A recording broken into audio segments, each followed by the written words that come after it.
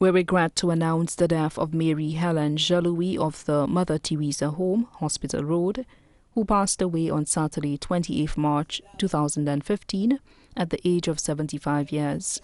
The funeral service of the late Mary Helen Jn Louis will take place at the Mother Teresa Home in Hospital Road on Wednesday, 8th April 2015 at 3 p.m., and then to the cemetery for burial. The body now lies at Crick's Funeral Home Limited, Vidbutey.